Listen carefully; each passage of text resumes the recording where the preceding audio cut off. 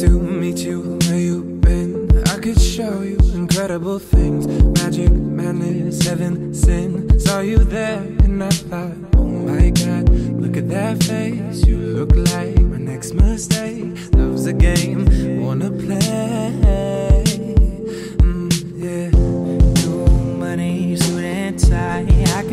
you like a man. Hi guys, welcome back to my channel. So today I am doing a makeup tutorial. I mentioned in my favorites video that I wanted to do a tutorial with the Sigma Warm Neutrals palette that I got a while back because I have been loving it and I wanted to do more of a dramatic look with it. So I went ahead and created this soft pink cut crease look. This is one of those palettes that's a neutral palette but you can create normal everyday neutral eye looks and you also can create dramatic looks as well and I wanted to do more of a dramatic look with it and I also want to mention that I do have a 10% off discount code for this palette and anything on Sigma's website so definitely check out the description box below for a 10% off discount. That is enough rambling for me. So I hope you guys enjoyed this video. And if you guys would like to see how I got this look, then be sure to keep watching. Thanks guys.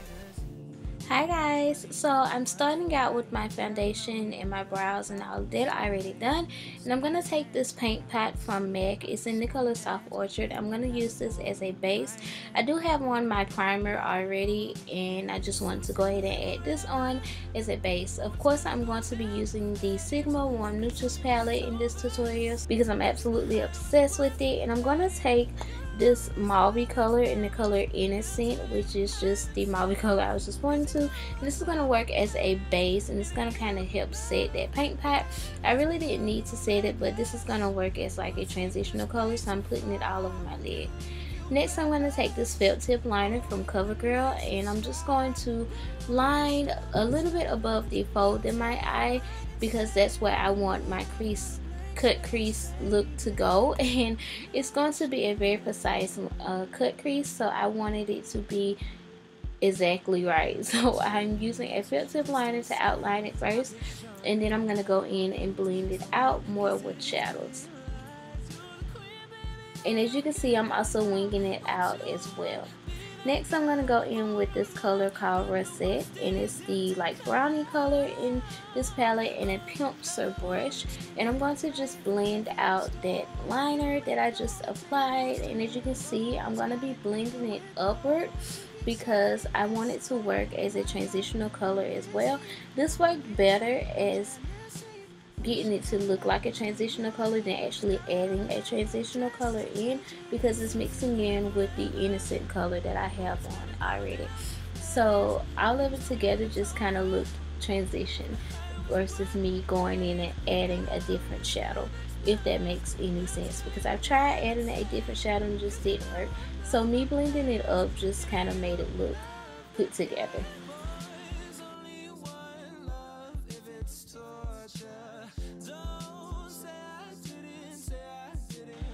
and it's okay if you get a little bit on the lid because we are going to take care of that. But I'm just going to make sure I blending it up because blending it up will also help it to stay precise and not really get on the lid Alright, I'm going to go back in with that same paint pot and I'm going to take a concealer brush and I'm just going to apply it on my lid and kind of clean up that area where I drew the liner at. Um, this is just going to help it stay clean and precise. And a lot of people, you can leave it this color if you want a beige one, but I really wanted it to be pink. So I went ahead and I mixed the two pink colors together. The first one is called Orchard Sand, which is the lighter pink, and the other one is called Optimistic. And I just mixed the two together to get the right color pink that I wanted. So I'm taking a Sigma shading brush and I'm just going to apply that to my lid. As you can see, I am taking it out along with that wing. Alright, and then I'm going back in with the color Mild Mannered, and I'm going to use that as a brow bone highlight. It has a little bit of shimmer in it, but it's kind of a mauve color. I'm going to go back in with Russet, and I'm going to apply that to my lower lash line. And I'm a little out of focus here, so sorry about that. But I'm just taking it straight across, across my lash line, and I'm not taking it up into my tear duct. I'm going to just keep it straight. I'm going to go back in with a little bit of that uh, whatever's left on that brush, the concealer brush with the paint pot. And I'm going to take the same mix two pink colors that I have. And I'm gonna just apply that in the area that I left open under my eye as you can see I'm doing here on my lower lash line. Alright so time for liner. I'm gonna go in with the best gel liner of all time. And it is the Maybelline uh, Studio gel liner in Blackest Black and I'm just going to apply my wing liner and as you can see I'm keeping it in line with the other wing that I have going on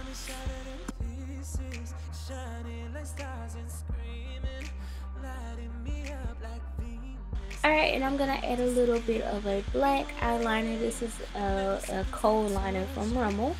And then I'm going to go ahead and finish up my face makeup. So I'm going to set the concealer that I have on my face um, with this e.l.f. Contouring Blush and Bronzer set in the color takes Turks and Caicos.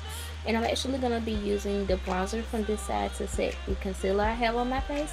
But I'm also going to be using the blush as well to just add a little bit of color back to my face.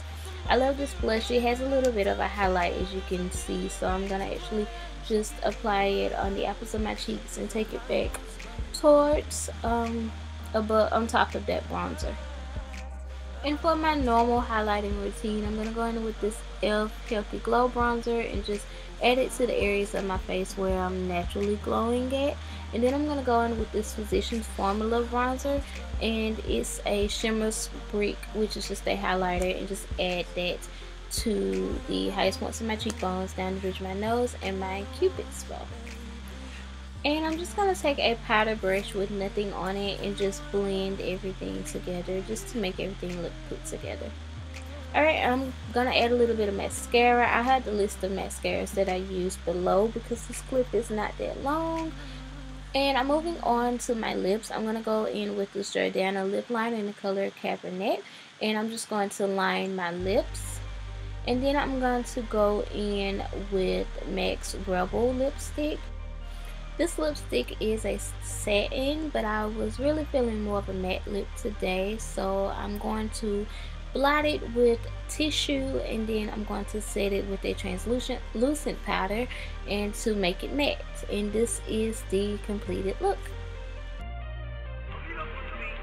Alright guys, so that is the completed look. I hope you guys enjoyed this video. If you did, be sure to give it a thumbs up. Be sure to check out my previous video below me. And also you can check out OkeeviaHoward.com, which is right beside it. That is my fashion blog where I update my latest fashion posts. Check out all of my social media sites right beside that. And I think that is about it. So I hope you guys are having an amazing day. Have you guys tried this palette? Let me know in the comment below your thoughts on this look and this palette. If you recreate it, then be sure to tag me it with Okeevia how it looks and I would definitely check it out. I think that is about it. I hope you guys are having an amazing day and thank you guys so much for watching and I'll see you guys in my next video. Bye guys.